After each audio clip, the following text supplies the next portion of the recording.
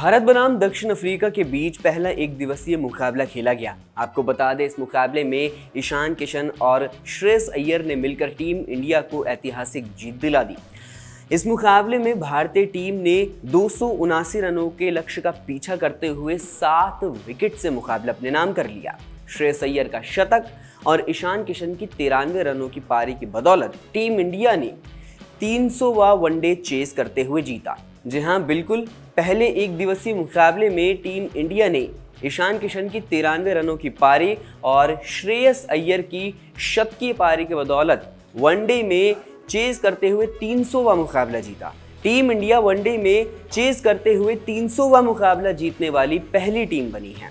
इसके अलावा भारतीय क्रिकेट में एक गजब का कॉन्सिडेंस भी हो गया है, जिसके बारे में हम आपको इस वीडियो में बताने वाले हैं। आपको बता दें, टीम इंडिया ने सौवा, दो सौवा और तीन सौवा ओडीआई जब भी चेज करते हुए जीता है तो उसमें भारत के लिए किसी न किसी बल्लेबाज के बल्ले से शतक निकला है। टीम इंडिया ने अपना पहला सौवा मुकाबला चेज करते हुए साल उन्नीस सौ अट्ठानवे में जिम्बाब्वे के विरुद्ध जीता था, जिसमें सौरव गांगुली ने शतक लगाया था।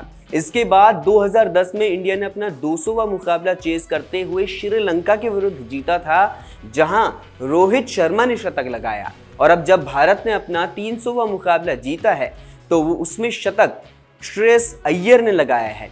मज़ेदार बात यह है कि भारत ने हर 12 साल के बाद अपना सौवा मुकाबला चेस करते हुए जीता है। ये गजब का कॉन्सिडेंस आपको कैसा लगा? कमेंट बॉक्स में हमें ज़रूर बताइए। क्रिकेट में इसी तरह के और कॉन्सिडेंस की वीडियो देखने के लिए आप हमारे चैनल को ज़रूर सब्सक्राइब कीजिए। इस खबर में फ़िलहाल इतना ही। बाकी की तमाम खबरों के लिए आप बने रहिए वन इंडिया के साथ।